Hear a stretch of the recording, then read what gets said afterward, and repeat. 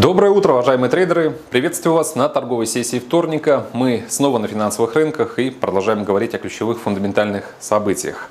Большое всем спасибо за лайки. Их вчера было настолько много, что фактически был достигнут новый рекордный максимум. Сегодня, наверное, не буду активно призывать вас, агитировать э, к тому, чтобы также э, ставить большие э, пальцы, хотя, безусловно, это нужно делать. Не забывайте, что у вас есть возможность, эм, собственно, присоединиться к нашему каналу, подписаться на весь контент, который мы готовим для вас. И, разумеется, так вы будете в курсе э, всего, что для вас делается и всего, что на финансовых рынках интересного происходит. Ну что ж, давайте поговорим о ключевых событиях текущего дня. Сегодня у нас в центре внимания очередное выступление Джерома Паула, председателя Федрезерва в Конгрессе.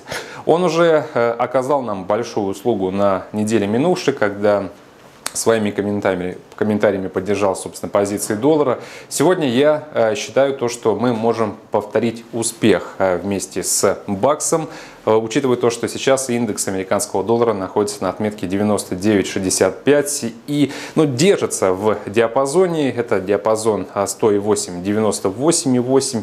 Видимо, нужен какой-то дополнительный катализатор. Учитывая то, что Джером Паул уже много раз комментировал текущую ситуацию с последствиями пандемии коронавируса, мы прекрасно понимаем то, что ее влияние на американскую экономику будет э, значительным, и мы это знаем. Не забывайте, друзья, то, что Паул признал, что на восстановление американской экономики понадобится больше э, года. А, Причем пик по основным макроэкономическим показателям, пик негатив, он еще не достигнут. Например, уровень безработицы будет расти как по итогам а, прошлого месяца, так и в этом. И, скорее всего, безработица скакнет э, до 20 до 25 процентов. Это много это еще одно доказательство того, что мировая экономика после кризиса здравоохранения вынуждена погрузиться в полноценный мировой финансово-экономический кризис. И здесь нужно просто заранее принять к сведению э, то, что самым лучшим кандидатом на дальнейшее восстановление останется именно американская валюта, потому что такая динамика доллара уже была проверена не одним э, кризисом. Э, по поводу индекса доллара в рамках компании Markets не переживайте переживаете за свопы, они, собственно, не взимаются, поэтому можно будет э, открывать э, опять же, долгосрочную торговую сделку и ждать э, нашу заветную цель в районе 102-103 пункта. Я думаю, что оттуда доберемся. Кроме того, в отношении доллара вообще вся неделя будет крайне интересна. Уже завтра эстафету от Паула подхватит протоколы последнего заседания американского регулятора. Будем ждать э, конкретики, анализировать э, новые потенциально вводные по поводу изменения денежно-кредитного курса. Но в целом, я думаю, что мы уже точно можем сказать, что ФРС не будет э, активно задействовать новые меры экономической поддержки, потому что нужно подождать, как отработают себя старые шаги и действия по стимулированию. Поэтому по индексу доллара держим длинные позиции. И я не сомневаюсь, друзья, то, что мы эту неделю точно закроем выше юбилейной такой психологической э, планки 100. Золото тоже крайне интересное сейчас, особенно учитывая беспрецедентную волатильность. Я думаю, что в рамках э, минувшей торговой сессии именно золоту можно отвести статус самого динамичного финансового актива. Хай был 1765. Наша цель поскромнее, значилась на отметке 1750. Мы ее сделали. И я надеюсь, друзья, то, что вы все-таки вышли из рынка, э, не стали мудрить в расчете на то, что на быстром ралли удастся выжить из э, рынка еще больше. Конечно же, это неплохая инициатива, особенно для тех, э, кто привык рисковать. Но в данном случае те распродажи, которые мы вчера видели под закрытие торговой сессии, они все-таки явно доказывают, что нужно брать с рынка э, и от рынка то, что он дает.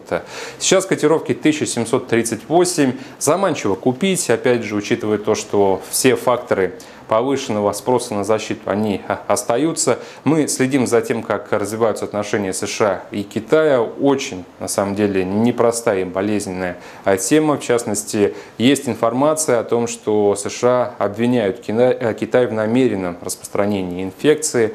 Опять же, есть сообщение о том, что Китай вовсе готовится к какой-то серьезной угрозе со стороны США и даже начал наращивать ядерный потенциал. Конечно же, это Э, до такого дела не дойдет. Но согласитесь, эту тему нельзя игнорировать. Я допускаю, что мы можем через какое-то время вернуться к новому раунду непростых торговых эм, переговоров эм, и даже открытой Э, конфронтации, э, пусть и в формате словесной э, риторики. В любом случае, факторы поддержки для защиты, они никуда не деваются. Мы также говорим о последствиях пандемии, и это, в принципе, уже оправдало себя как такой целостный фундаментальный фонд для поддержки золота. Я предлагаю сделку buy limit с уровня 1720, то есть дождаться еще небольшой коррекции уже после покупать. Евро против доллара 1.0910, Бундесбанк накануне накануне сообщил о том, что второй квартал будет э, э, просто чудовищным для еврозоны и для Германии. Мы ожидаем еще больше экономический спад. Сегодня в 12.00 по Москве выйдут данные по ЗИУ. Смотрим за э, статистикой. Ну, в целом данные ожидаются плохие. И я надеюсь, то, что евро окажется под давлением. Фунт против доллара сегодня, опять же, даже первым эстафету по влиянию на себя статистики именно фунту можно фунта можно обозначить, потому что в 9.00 выйдут данные по э, рынку труда. Тоже ожидаются слабые цифры. Напоминаю то, что на минувшей неделе э, глава Банка Англии эм, Эндрю Бейли четко дал понять, что готов задействовать новые меры экономического стимулирования. Это и возможность снижения процентной ставки и увеличение программы количественного смягчения. Но нужно проанализировать статистику. Чем хуже выйдут данные в рамках этой недели. Сегодня, опять же, рынок труда, далее у нас инфляция, а потом розничные продажи. Э, плохая статистика, блок э, слабых фундаментальных данных – это еще больше вероятность того, чтобы на следующем заседании получить то, что нам нужно в плане стимулов. Поэтому по фунту держим позицию, точнее цель 1.20. То, что была коррекция, это ничего страшного, друзья.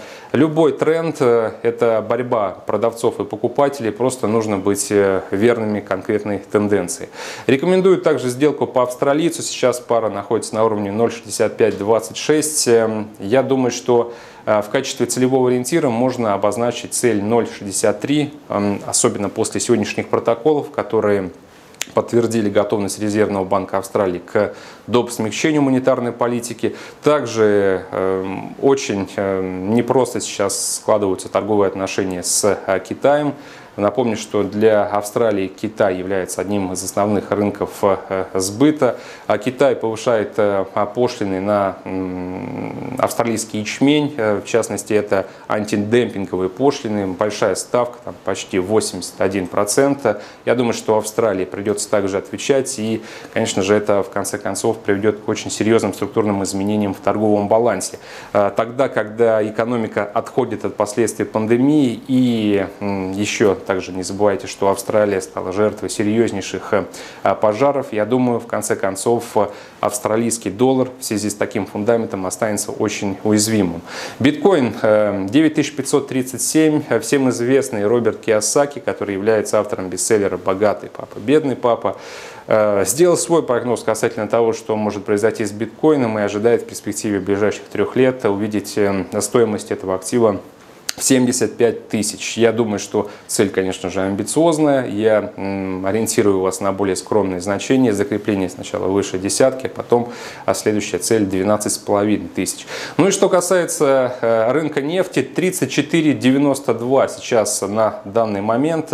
Друзья, э, я рекомендую тем, кто оставлял вместе со мной небольшой остаточный шорт, еще поставить стоп-лосс на уровне 35,70. И если вот это безумное ралли по факту отработки XP аспирации продолжатся, лучше с рынка будет выйти. Я не хочу принижать значимость того фундаментального позитива, который сложился по факту действий стран ОПЕК по сокращению добычи и снятия, смягчения карантинных мер. Но ралли, которое мы видели в последние две недели, оно крайне чрезмерным. Я буду ждать коррекции, уже снова заходить в рынок нефти. Это уже, скорее всего, будут покупки, но не с текущих значений. Снижение точно будет. На этом все. Большое спасибо за внимание. Всего доброго. До свидания.